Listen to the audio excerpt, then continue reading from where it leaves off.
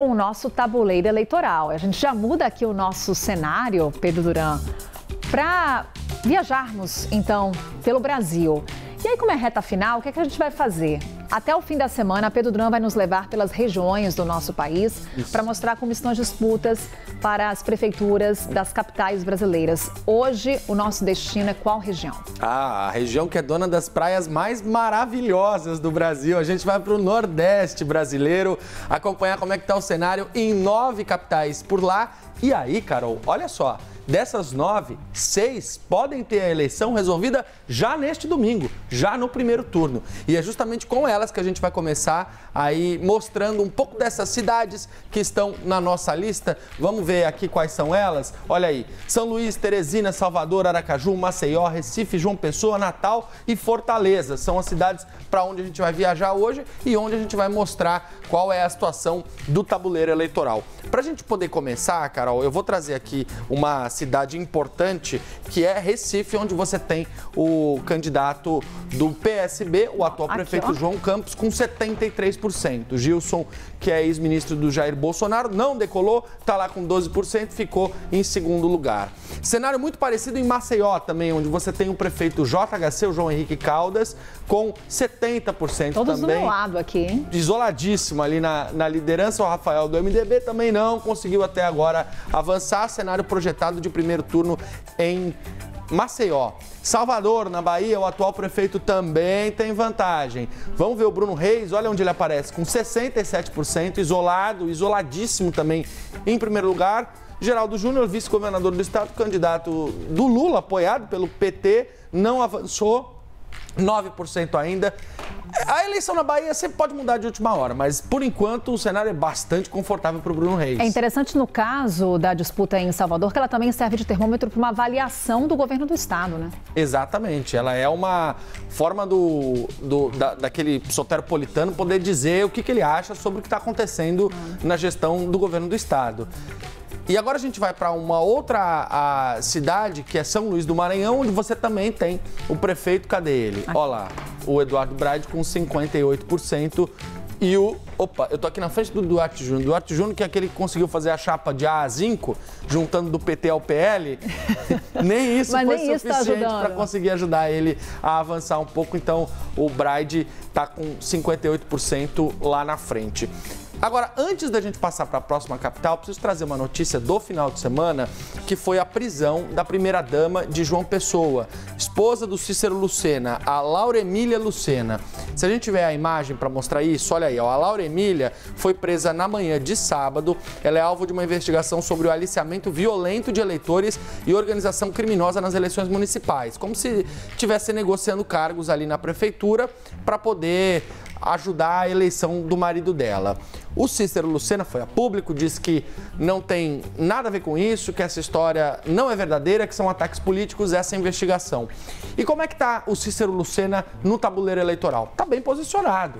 Por enquanto, antes dessa operação, a gente tinha o prefeito de João Pessoa ali, ó, com 51%. Ainda não sabemos qual é o efeito que vai ter nos números a prisão da esposa dele mas por enquanto a situação dele é bem confortável em relação aos principais oponentes. Passadas essas primeiras capitais, onde a gente tem um cenário de, de prefeitos na frente, a gente vai para uma outra capital que não é o prefeito que está na frente, mas também pode ter, ser decidida no primeiro turno, que é Teresina, capital do Piauí. E a gente tem em Teresina o Fábio Novo, que é o candidato do PT, que também tem o apoio do Rafael Fonteles, do Wellington Dias, governador, ex-governador, do presidente Lula, com 47%. Isso porque, onde está o prefeito, é. doutor Pessoa? 4% ali atrás. Trocou de partido durante a campanha, está mal avaliada, deu cabeçada na, na, no adversário do PSOL durante o debate eleitoral, não avançou. O prefeito é a exceção que comprova a regra no caso de Teresina. Né? Agora a gente vai para mais uma cidade, chegando nas três últimas cidades onde a situação está um pouco mais embolada. Vamos para Fortaleza. Essa eleição é curiosíssima. Recomendo a todos que acompanhem, porque o tabuleiro está mexendo todo dia. E olha quem está na frente: tá? o André Fernandes do PL, que estava lá em terceiro, quarto lugar, ela passou todo mundo e foi lá para frente. O Evandro Leitão, que é o candidato do PT, que também estava ali atrás, voltou para frente, está com 22%. Capitão Wagner, que estava liderando a disputa até semana passada, agora está em terceiro lugar com 20%. E o que explica essa movimentação de peças, hein, Pedro? Aqui, especificamente, você tem claramente o apoio do Bolsonaro e o apoio do Lula pesando na disputa combinado com uma avaliação ruim do atual prefeito. O Sarto está com 18%, pode não chegar nem no segundo turno e ainda distante desses, desses líderes da disputa, mas a coisa está muito embolada em Fortaleza, não dá para fazer nenhuma aposta por enquanto. Vamos para Natal, no Rio Grande do Norte, ver qual é o cenário por lá? Aí a gente tem, Carol, dois, duas cidades onde o apoio dos atuais prefeitos não tem garantido o avanço. Então você tem em Natal o Álvaro Dias apoiando o Paulinho Freire, do União Brasil. O atual prefeito não pode se reeleger, mas o Paulinho está em segundo lugar. É o Carlos do PSD que está na frente com 32% e a Natália Bonavides ali do PT com 19%. E agora a gente vai para Aracaju, onde o Edvaldo Nogueira, que é o atual prefeito, também não pode se reeleger e está apoiando o Luiz Roberto, que está em terceiro lugar ali, ó, do PDT com 15%.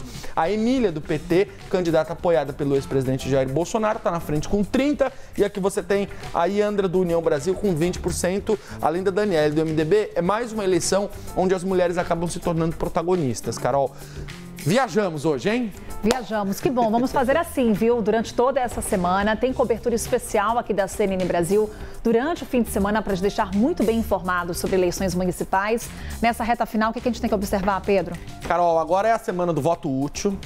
É a semana onde o eleitor vai tomar a decisão efetiva do voto dele. O cenário ainda pode mudar. O peso dos padrinhos pode aparecer nesta semana, quando o eleitor indeciso vai apostar quem ele é, quer eleger por conta daquele que está por trás do candidato ou do presidente ou ex-presidente que apoia. Então, tudo isso é bastante importante para a gente ficar de olho e a curva vai mudar muito ao longo da semana. Tem muita pesquisa, aliás, por aí.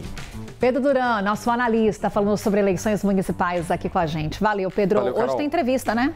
Hoje tem entrevista. A gente vai entrevistar o candidato a vice da Marina Helena, candidata do Partido Novo aqui em São Paulo, Coronel Priel. Vem aí, três e meia da tarde no YouTube e também à noite na CNN.